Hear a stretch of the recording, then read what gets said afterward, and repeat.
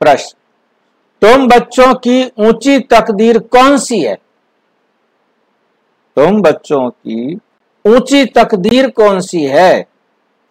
जिसके आधार पर तुम सारे सारे सृष्टि का की तकदीर को जान जाते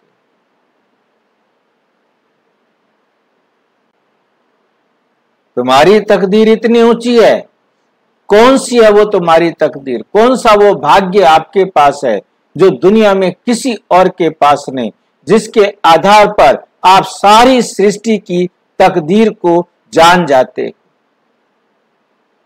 ऐसा कौन सा है आपके पास?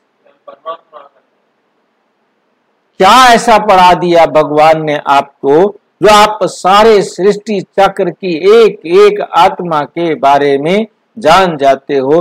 कि इनका भाग्य क्या है? हाँ। बाबा आकर हमें स्वदर्शन चक्रधारी बनाते सतयुग त्रेता द्वापुर कलयुग और संगम फिर कैसे पूरा चक्कर आप लगाते हो?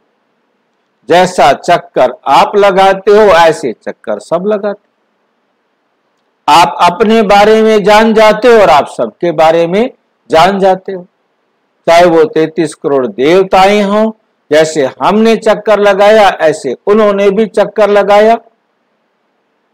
सभी को परमात्मा आकर इस समय पढ़ाते हैं, सत्युग में सारे पावन होते हैं और कलयुग के अंत में आकर सारे तमो प्रधान बन पर आप अपना भाग्य परम पिता परमात्मा से जानते हो, ये आपकी तकदीर है ना?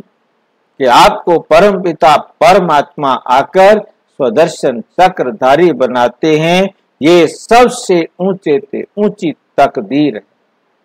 अब जो जितना स्वदर्शन चक्र को चलाएगा तो क्या बनेगा?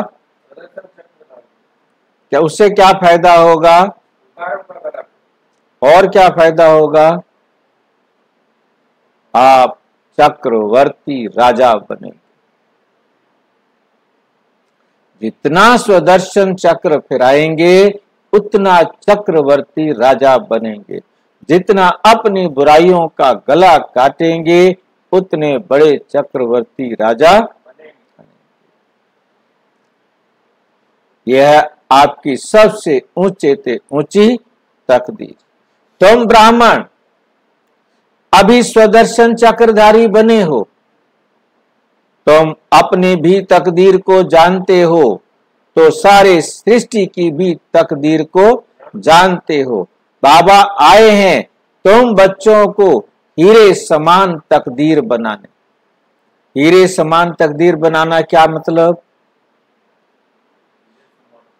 हीरे जैसी आपकी तकदीर बनाते हैं। जैसे हीरा कोयले की खान में मिलता है, हम भी पतित दुनिया में पड़े हुए थे। हम भी विकारों में ग्रस्त थे, बुराइयों से भरे पड़े थे। अब बाबा आकर सुदर्शन चक्र हमें देकर एक एक बुराई का गला काटने की ट्रेनिंग देते हम जितना बुराइयों का गला काटते जाएँगे, उतना बेदाग हीरा बनते जाएँगे। स्मृति में रहे, स्वयं भगवान हमारी तकदीर बनाने के लिए पढ़ा रहे। स्वयं भगवान हमारी तकदीर बनाने के लिए पढ़ा रहे हैं तो तकदीर बनती रहेगी। तकदीर बनती रहेगी, कैसे बनेगी?